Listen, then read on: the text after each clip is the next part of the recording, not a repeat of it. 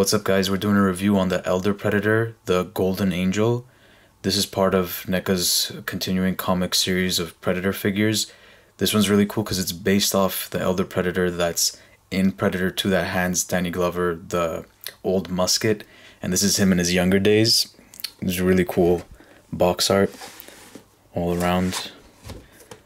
Have more shots of the figure, more comic art. And as always with all their Ultimate figure releases, there's a little window right here. So alright, let's get this guy open and see how cool he is. Alright, so here we have him out of packaging. Really cool design to this Predator. I feel like this is one of the more unique ones that we've gotten out of the recent releases. This lime green yellow paint job is like very, very vibrant. And it stands out and there's this red speckling that's going across like mostly the front all through here. It's very subtle, but it looks really nice. And then he has this nice, like, bronze, goldish paint job all over, hence the Golden Angel Predator. And I have him with most of his accessories on right now. I'll go over those in a second as well, but yeah, this sculpt is just really awesome. So as far as accessories, he comes with a bunch. One of them right here, and probably the most important one, is the 19 or 1718 musket. This is the same gun that's given to Danny Glover by the Predator at the end of Predator 2. Really cool, and it's cleaner right here. The original releases, I if I remember right, it's more weathered looking. And then he comes with the throwing disc, which is right here in its storage area. Try to get it out. So he comes with just a closed one, which you can store right there. And then he comes with an open one, which you put in his hand. Really cool. He also comes with this really cool, like, futuristic looking sword dagger thing. So it comes out like this, which is the retracted form. And then he also comes with the blade that also stores up here, which is really cool. And this just pegs in to the sword just like this.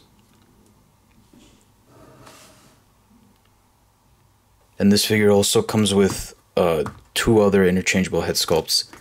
So here's the one that it comes with in packaging.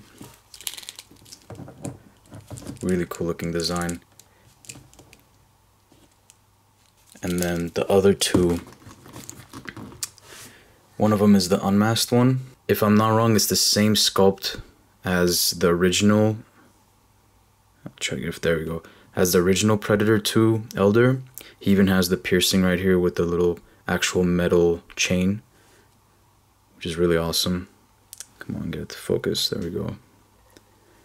And then the last head sculpt he comes with, probably my favorite one, is this one right here. This is the biomask that he has in the beginning of the 1718 Predator comic. I think it looks really nice. I like the more like traditional Predator 1 looking or like vibe that this one's given off, but it looks angrier almost. Really cool. And then he also comes with two other interchangeable hands. One's a gripping one for the sword or the gun, and then one regular fisted hand, and then the two open splayed out hands that are already on the figure. So for the articulation on this guy, he's using the Predator 1 body mold, so it's the same exact thing. Uh, I'm going to take off the Cannon backpack because this thing just keeps popping off because this peg is kind of deformed on mine so it doesn't want to clip in up here and it just it's going to keep falling off. And yeah so for articulation the head is on a ball joint. Shoulders are on hinge swivels on both ends. This one gets a little bit more range. And plus there's tubes here and here just like all the other releases so you got to be wary of those to not snap them uh, he has bicep swivel. This one's pretty free to move, and just be careful this. Don't pull it too far.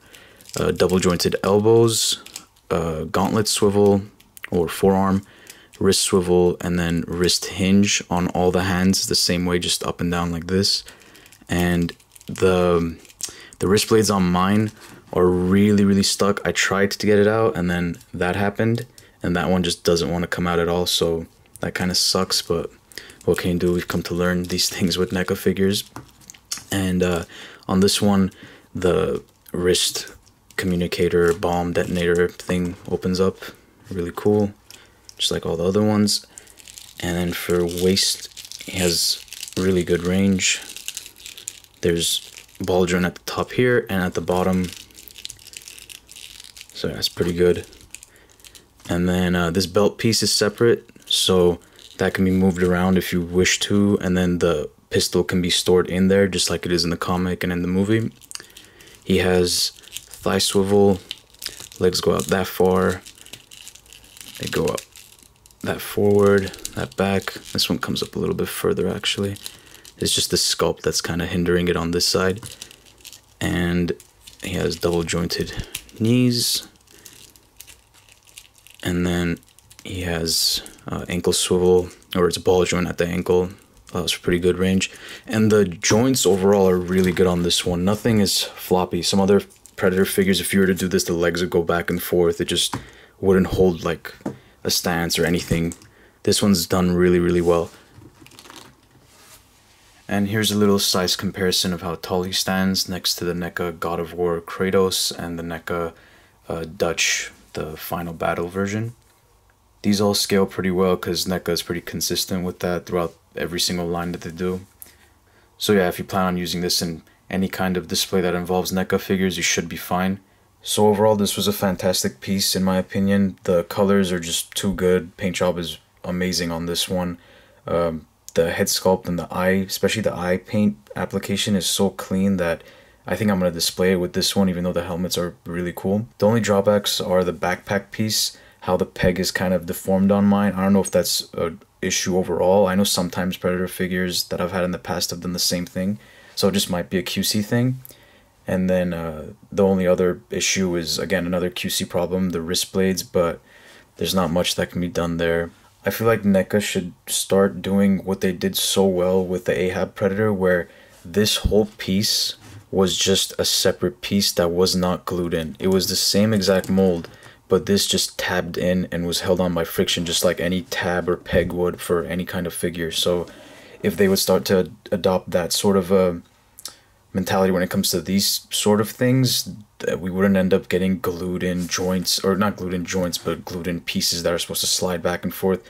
Granted it could be paint but i feel like it's just it's too tight in there. It's there's no way it's paint. It's probably just glue that they used for this gauntlet piece to stay on there so if they just start making that separate it can help out a lot but yeah gripes aside this is probably one of the best predator pieces that they've made and yeah, so if you guys are trying to get him, he should be hitting stores very soon. Uh, comic shops should be getting them right now.